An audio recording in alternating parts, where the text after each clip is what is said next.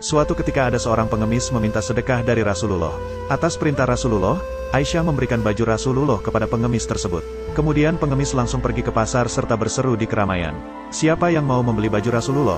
Ada seorang yang buta matanya menyuruh budaknya agar membeli baju itu dengan harga berapapun yang diminta, dan jika berhasil budak tersebut akan dimerdekakan.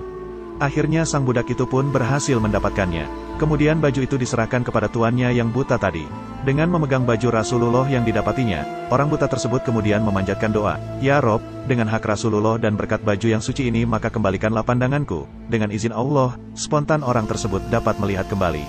Ia pun pergi menghadap Rasulullah dengan penuh gembira dan berkata, Wahai Rasulullah pandanganku sudah kembali dan aku ingin mengembalikan baju Anda sebagai hadiah dariku.